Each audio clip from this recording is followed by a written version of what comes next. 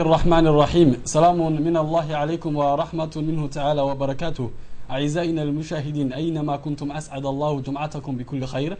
طبتم وطابت أوقاتكم. من تلفزيون جيبوتي نحييكم ونقدم لحضراتكم نشرة الأخبار المفصلة لهذا المساء. ويسعد معكم عبر الهواء مباشرة لتقديم هذه النشرة كل من خاض العلم وعو عبدي وكالمعتاد نفتتح هذه النشرة بأبرز العنوان. وفي العنوان الأول رئيس الجمهورية سيد إسماعيل عمر جيلي يشارك الحفل الختامي للمناورات رعد الشمل. ودوليا. اليابان تحيي الذكرى الخامسة لزلزال فوكوشيما. تلكم كانت مقدمة النشرة وإلى حضراتكم الأنباء بالتفصيل. تبدأها لنا الزميلة أو عبدي. أهلا بكم. شارك رئيس الجمهورية السيد إسماعيل عمر الجيلي حفل اختتام مناورات رعد الشمال التي أقيمت شمال المملكة العربية السعودية يوم أمس الخميس ووصفت ووصفت هذه المناورات بأنها الأكبر في المنطقة. وتشارك هذه المناورات عشرون دولة عربية وإسلامية من بينها جمهورية جيبوتي. وتضمن العرض الختامي الذي شارك فيه شاركت فيه طائرات مقاتلة ومروحيات هجومية ودبابات ومدرعات معركة افتراضية دامت ما يقرب من ساعتين. ويقدر عدد القوات المشاركة في تلك المناورات ما بين 150 ألف إلى 250 ألف جندي كما شارك أكثر من 2000 طائرة مقاتلة و400 طائرة مروحية ونحو 20 ألف دبابة. وتهدف هذه المناورات رعد الشمال إلى تعزيز التعاون العسكري بين الدول العربية والإسلامية بعد إنشاء التحالف الإسلامي العسكري. كما تندرج هذه المناورات في إطار الحفاظ على أمن العربي وحماية الشعوب ضد أي محاولات من الأعداء لزعزعة أمنها واستقرارها. والجدير بالذكر أن المناورات رعد الشمال للقوات التحالف العربي الإسلامي بدأت منذ أسبوعين. وفي عنوان في موضوع متصل تابع رئيس الجمهورية والوفد المرافق له ونظراءه الرؤساء الدول الشقيقة والصديقة تدريبات العسكرية المختلفة التي استمرت قرابة ساعتين وعرضت قوات المشاركة كافة فنون القتالية وتم استخدام طائرات مقاتلة ومدرعات وأسلحة ثقيلة إضافة إلى تدريبات فنية من أجل مواجهة أي تهديد كان.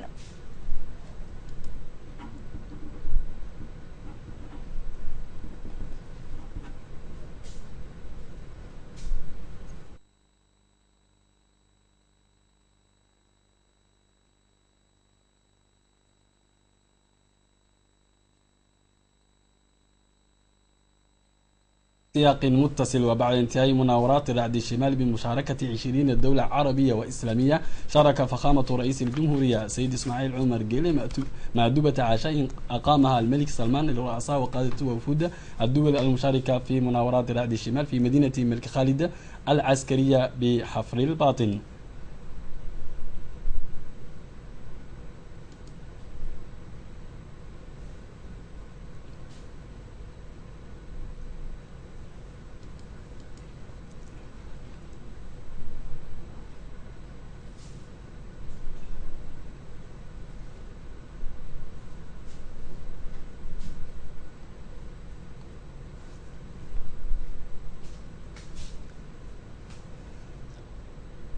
التقى رئيس الجمهورية السيد إسماعيل عمر قلي بوزير الدولة لدى الملك السيد مساعد بن بن معيد بن محمد وتباحث الجانبان على العلاقات الثنائية بين البلدين الشقيقين والقائمة منذ الأزل وسبل تعزيزها وتطويرها إلى آفاق أوسع وأرحب.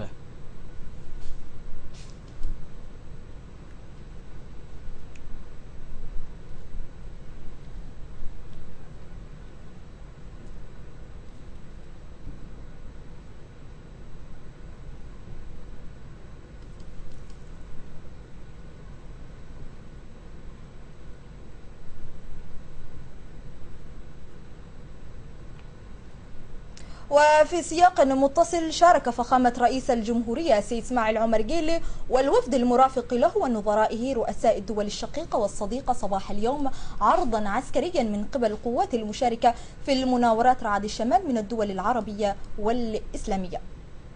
التقى فخامة رئيس الجمهورية السيد إسماعيل عمر جيلي بنظيره السوداني السيد عمر حسن أحمد البشير في مدينة ملك خالد العسكرية للمملكة العربية السعودية. وتبحث الجانبان العلاقات الثنائية بين البلدين الشقيقين والقائمة منذ الأزل وسبل تعزيزها وتطوير إلى أفاق أرحب وأوسع. ومن ضمن نشرتنا المحلية بدأ أمين الدولة للشباب والرياضة سيد بدول حسن بدول جولته في أرحيبة وذلك بمبادرة مع جمعية ليبر اسكوار ويهدف هذا اللقاء إلى خلق شراكة وثيقة مع أمانة الدولة للشباب والرياضة. وهذه الجمعية هذا وشكر أمين الدولة للشباب والرياضة السيد حسن بدول حسن السيد بدول حسن بدول الجهود المتواصلة التي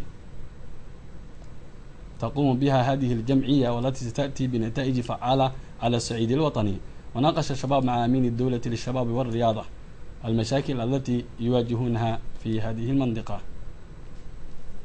وفي كلمة له في هذا اللقاء قدم سيد بدول شكره إلى سكان حي أرحبة على استقبال الحار الذي حظي به وذكر سكان الحي واجبهم كمواطنين وحثهم على صحب بطاقاتهم الاقتراع والمشاركة بكثافة في الانتخابات الرئاسية المقبلة المقرر إجراؤها في الثامن من شهر إبريل القادم.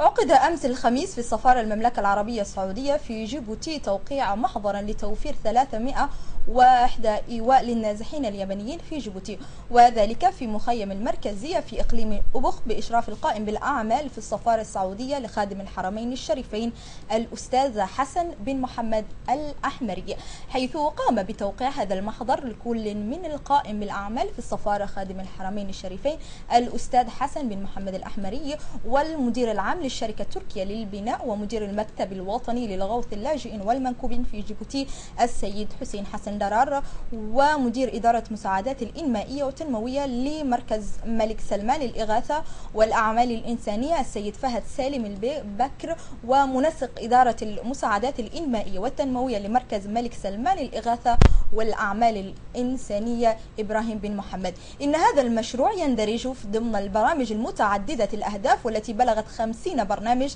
للمساعدة والتخفيف عن المعاناة للشعب اليمني حيث تشتمل وحدات إيواء على مرافق صحية وتعليمية كما تتلائم مع الظروف المناخية في أبخ وجرت هذه المناسبة بحضور المندوبين من وزارة الخارجية والتعاون الدولي والجدير بالذكر أن جمهورية جيبوتي ستستقبل الآلاف تستقبل عفوا آلاف اللاجئين اليمنيين منذ بداية الأزمة اليمنية.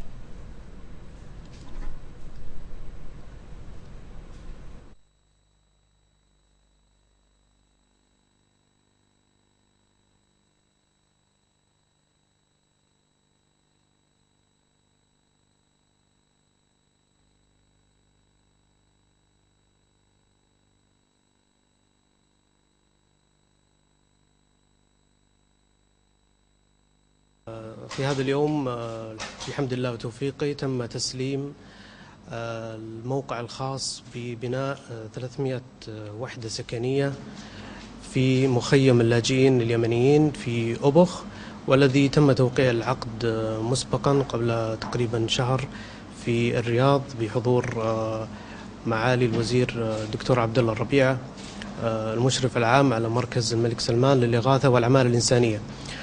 طبعا آه، اليوم تم تسليم الموقع للشركة والذي يستغرق إن شاء الله بناؤه آه، في حدود المئة يوم تقريبا اعتبارا من هذا اليوم.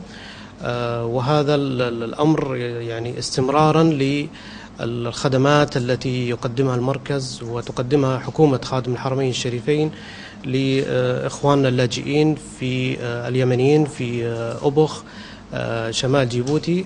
آه، وأيضا آه، تقديرا للجهود الكبيرة والدعم اللوجستي الذي تقدمه حكومة آه، جمهورية جيبوتي الشقيقة في دعم اللاجئين اليمنيين الذين حدت بهم الظروف إلى الانتقال إلى جمهورية جيبوتي الشقيقة. وفي شأن محلي آخر نظمت الجمعية الإنسانية للحي السادس يوما مفتوحا لتوعية الناخبين للحصول على البطاقة الاقتراع. وتهدف هذه المناسبة إلى توعية أهالي هذه الأحياء إلى سحب بطاقاتهم الانتخابية بغية المشاركة بكثافة وبشكل فعال في هذه الانتخابات.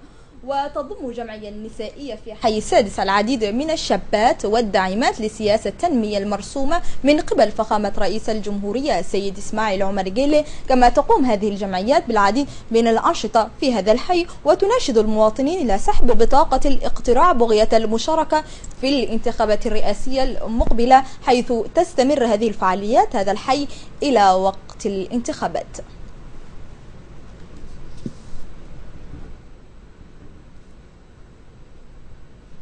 قام وفد من الإدارة العامة للأحوال المدنية بقيادة المدير العام السيد إدريس ميغيل بوح بزيارة إلى مدينة أبوخ وذلك لوضع خدمة رقمية للبطاقات في الإقليم المكلفة بالجنسية والمكتب الأحوال المدنية. كما أشار وزير الداخلية السيد حسن عمر إن هذا المشروع يندرج في إدارة السياسة التي ينتهجها فخامة رئيس الجمهورية السيد إسماعيل عمر جيل وذلك لتوفير التكنولوجيات الجديدة في البطاقات الهوية للأحوال المدنية. وفي هذا السدد نظم أول اجتماع في حاكمية أبخ مع والي الإقليم المكلف بالخدمات الرقمية للبطاقة. كما نوه حاكم أبخ إلى أهمية إنشاء هذه الخدمة والتي سوف توفر للمواطنين أخذ جميع أوراق الشخصية بدل الذهاب إلى العاصمة جيبوتي. قامت جمعية التنمية أديم أمس الخميس بتوزيع الخضروات لقرية اس لمركز صحي في مستشفى تجورة وجرت مناسبة التوزيع بحضور الرئيس الجمعية السيد محمد حسن حمد حيث تسلمت هذه الهبة من الخضروات لقرية SOS بحضور مديرها حيث تم تسليم لمركز صحي في مستشفى تجورة والتي كانت لصالح المرضى المصابين بمرض السل. وذلك بحضور رئيس الأطباء لهذا المركز. هذا وقدم المسؤولون من بينهم حاكم منطقة التجارة السيد عبد الملك محمد بانويتا ورئيس المجلس الإقليمي السيد حسن حسين. شكرهم إلى جمعية أديم على عملها النبيل تجاه إخوانهم. كما رحبوا بالأنشطة التي قامت بهذه هذه الجمعية. برعاية أمانة الدولة للشباب والرياضة نظم الاتحاد الوطني للعبة كونفوشو بالتعاون مع الاتحاد الإثيوبي للعبة كونفوشو مساء أمس حفلا لعرض مهارات وفنون للرياضة كونفو وذلك في ملعب حسن جوليد. أبتيدون وشارك في هذه العروض الرياضية قرابة خمسين شابا بمختلف أعمارهم ومستوياتهم وقام بتنشيط هذه اللعبة. رئيس الاتحاد السيد محمد علي دبابة والملقب بماو وفي الختام قدم السيد ماو شكره وامتنانه إلى أمين الدولة للشباب والرياضة السيد بدول حسن بدول على رعايته بهذه المناسبة ودعمه اللامحدود.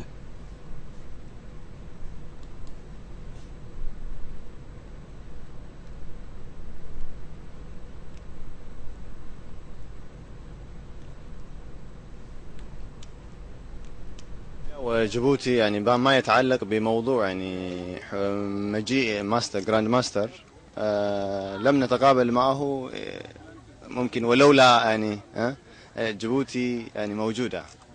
إذا كان التدريب راعي جدا آه ونتمنى إن شاء الله أن تكون علاقتنا أحسن وأفضل من الذي الآن نحن فيه.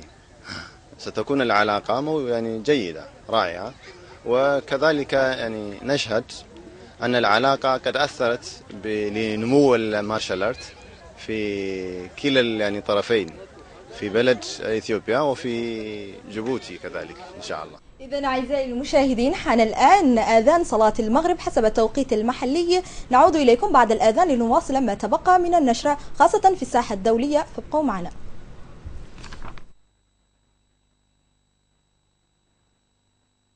إن الصلاة كانت على المؤمنين كتابا موقوتا.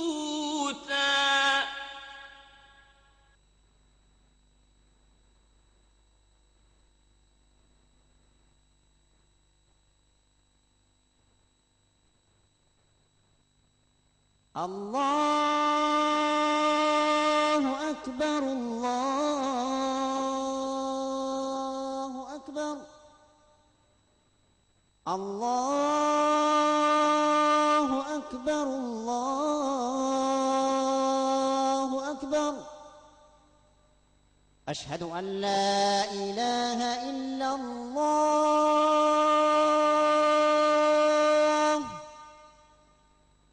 أشهد أن لا إله الله.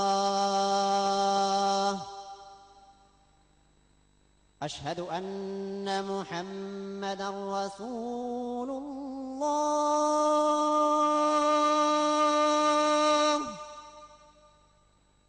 أشهد أن محمدا رسول الله.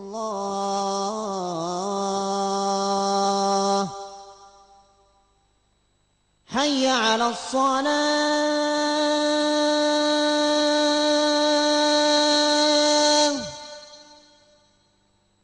حي على الصلاة.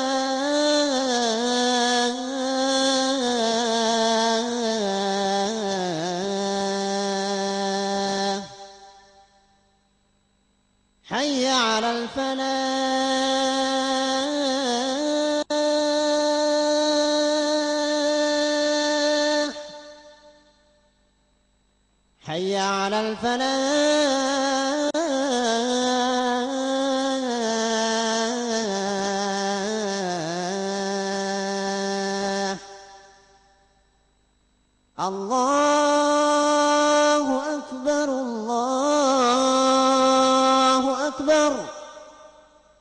لا إله إلا الله.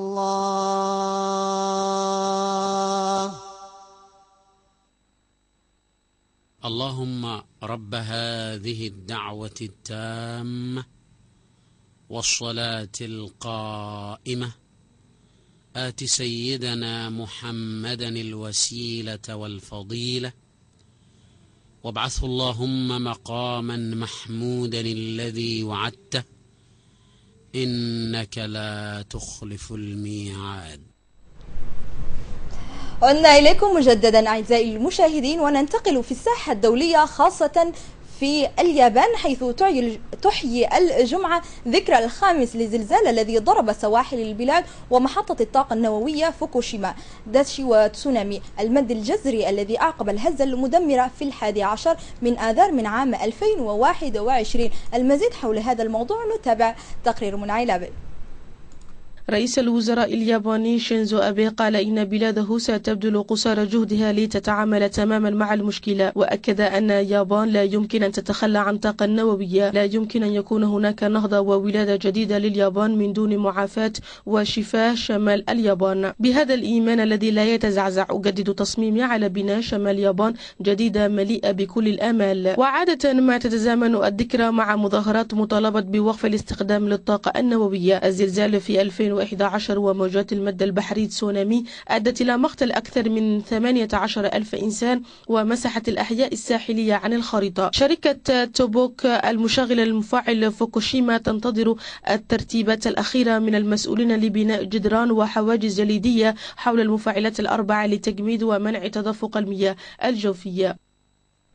إذا أعزائي المشاهدين نختم هذه النشرة باختيار وزراء الخارجية العرب يوم الخميس أحمد أبو غيث أمينا عاما للجامعة العربية خلفا للنبيل العربي ليكون بذلك الثامن أمين عام للجامعة العربية. مزيد حول هذا الموضوع نتابع مجددا تقرير منعلبي قال الشيخ خالد بن أحمد الخليفة وزير الخارجية البحريني ورئيس جلسة اجتماع وزراء الخارجية العرب نعلن تعيين أحمد أبو الغيد أمين العام لجامعة الدول العربية لمدة خمس سنوات اعتبارا من أول من يوليو. ومنذ تأسيس جامعة الدول العربية عام 1945 شغل مصريون منصب الأمين العام باستثناء التونسي الشدلي القليبي الذي تولى منصب عام 1979 بعد نقل مقر الجامعة إلى تونس احتجاجا على اتفاقات كام ديفيد بين مصر وإسرائيل. وعادت الجامعة العربية إلى القاهرة عام 1990 أبو الغيد من مواليد 1942 وتولى منصب وزير الخارجية المصري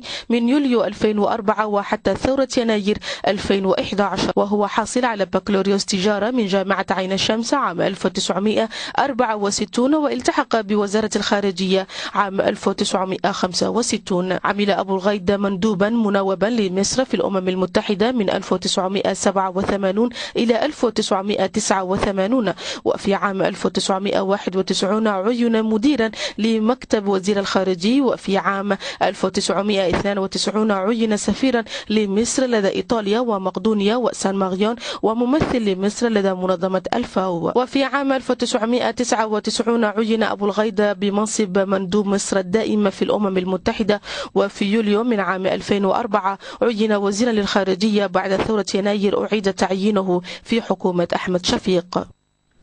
إذا أعزائنا المشاهدين إلى هنا تنتهي نشرتنا الإخبارية المخصصة لهذا المساء. قدمناها لكم من تلفزيون جيبوتي تقبلوا تحياتي وتحيات الزميل عو عبدي وزملاء مهندسي الصوت والصورة ونشكركم على حسن الإصغاء والمتابعة. والسلام عليكم ورحمة الله وبركاته.